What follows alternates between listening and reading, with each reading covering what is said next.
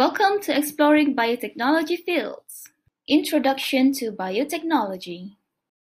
In 1917, during the First World War, the term was used to refer to industrial fermentation processes used to produce industrial feedstock. Karl Ereky referred biotechnology to all the lines of work by which products are produced from raw materials with the aid of living organisms. Biotechnology may infer from the ancient Greek language, which is bios for life, techos for tool, logos for word, study of, or essence. Biotechnology applies any technique that uses living organisms or substances from those organisms to make or modify a product to improve plants or animals or to develop microorganisms for specific uses. Biotechnology is basically rooted from basic sciences with genetic engineering as its central for the applications regulated by governmental agencies. Can you guess what are the basic sciences and applications for biotechnology? Classical versus modern biotechnology.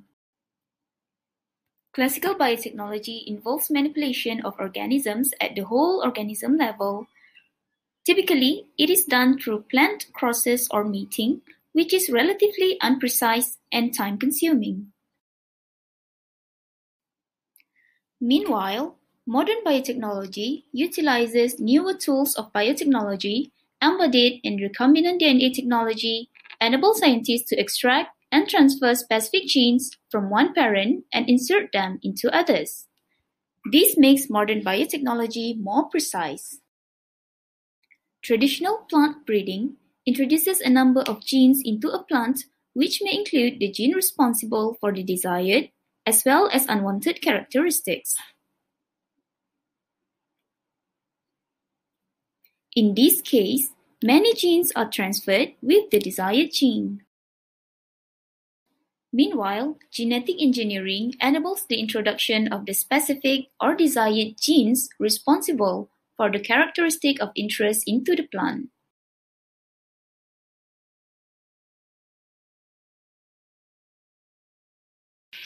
By narrowing the introduction to one or a few identified genes, scientists can introduce the desired characteristics without introducing genes responsible for unwanted characteristics.